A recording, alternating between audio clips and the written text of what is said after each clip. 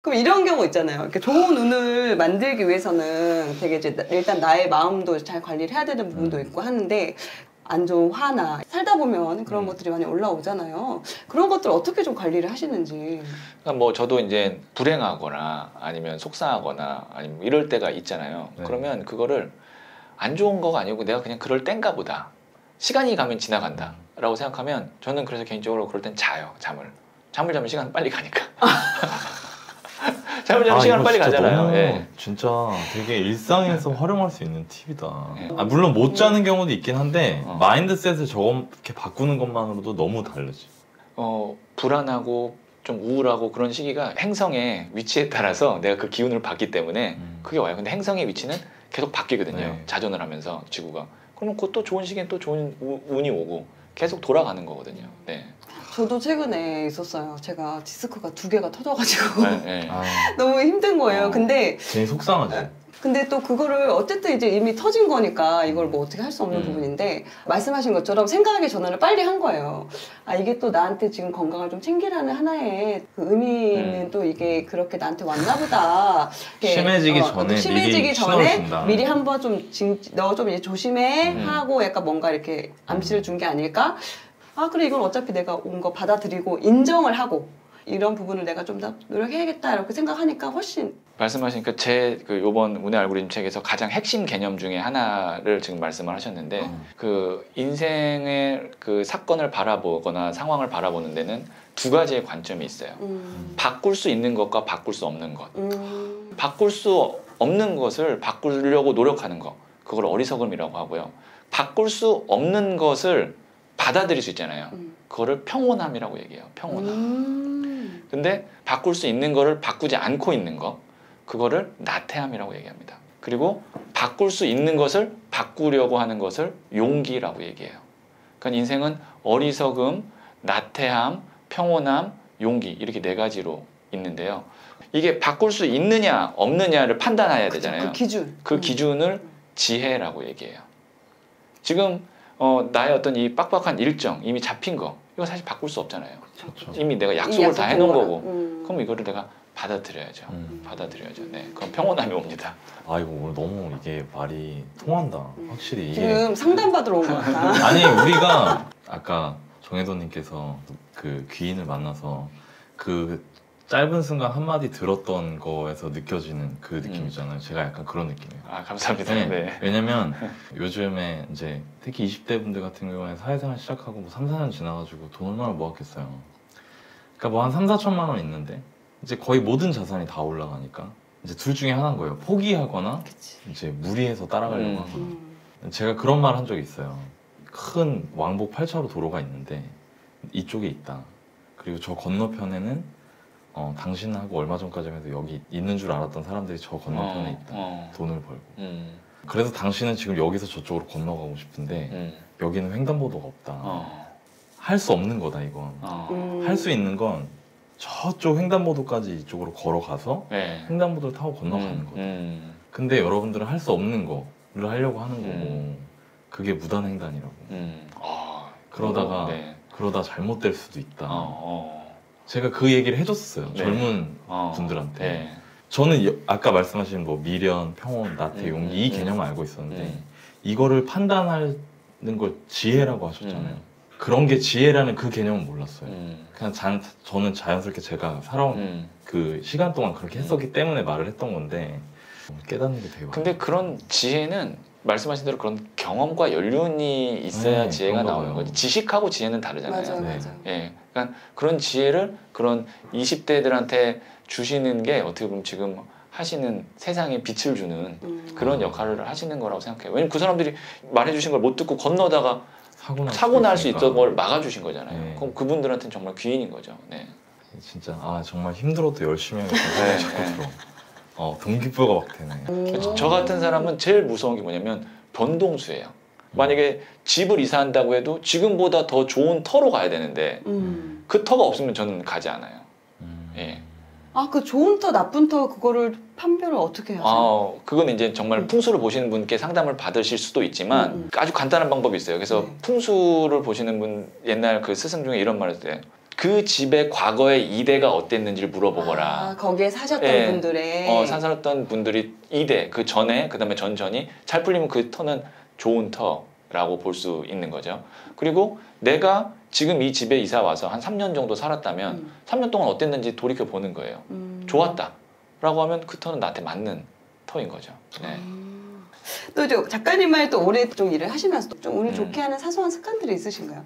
우리가 좀 바로 따라할 수 있는 그런? 우선 그 구체적인 내용을 데드라인을 적어서 제 카톡으로 매일 아침 보내요. 뭐 예를 들어서 음. 뭐 제가 이번에 책에 나왔으니까 1 하고 2021년 5월까지 운의 알고리즘 베스트셀러 1위 된다. 음. 라고 이렇게 그다음에 2 매일매일 아침 매일 아침에 나에게 네 나에게 보내요. 나에게 내 음. 카톡으로 내가 유튜브 타로마스터 정회도 채널 뭐 30만 구독자 된다.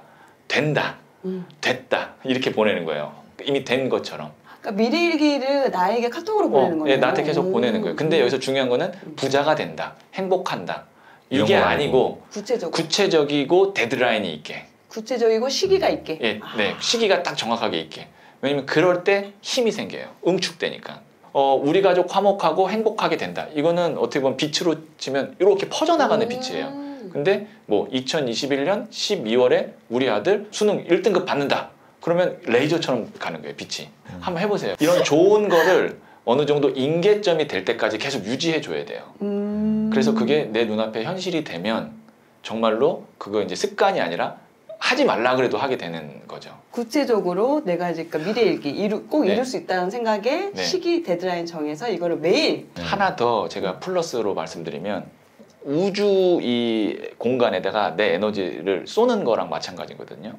이건 내가 나한테 쏘는 거잖아요. 그게 아니고 나를 위해서 진심으로 기도를 해줄 사람이 있잖아요. 어머니가 될 수도 있고 아내가 될 수도 있고 내가 원하는 거를 그런 분한테 그걸 매일 보내는 거예요. 그러면 그 사람이 그걸 보고 어, 이 사람이 음. 이렇게 돼줬으면 좋겠다 매일 기도하면 그거는 새총을 요만큼 땡기는 것과 이렇게 멀리서 땡기는 거의 차이라고 보시면 돼요. 그러면 같이 하니까 네, 그, 카, 그 카톡을 또 보내죠. 누구한테 보내요? 아내는 아내분이 귀인이니까 귀인이지만 뭐 귀인이지만 귀인이죠. 네, 귀인이지만 어, 아, 저를 위해서 항상 기도를 해주지만 아왜 짓궂게 물어 왜? 근데 매일 왜 그래요? 매일 같이 사니까 네. 거리가 이렇게 멀진 않잖아요.